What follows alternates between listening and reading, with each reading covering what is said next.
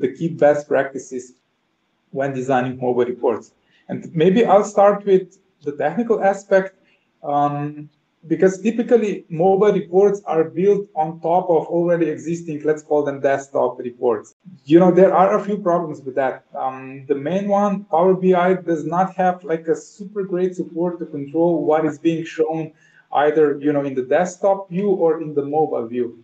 And because of that, you know, you cannot hide like maybe specific mobile views in the desktop mode and vice versa. And that's why our recommendation is to actually you know create a dedicated report just for mobile and maybe dedicated report um, that it's already there for desktop in reality yes that means that we do have two different reports but that will enable us to really focus on the right things when designing mobile reports you know to have mobile layouts and then also to create visualizations that are suitable for that um, but at the end, right, you still have the same semantic model in the background. So there's still like this one source of truth um, and only like one data model that you need to take care of.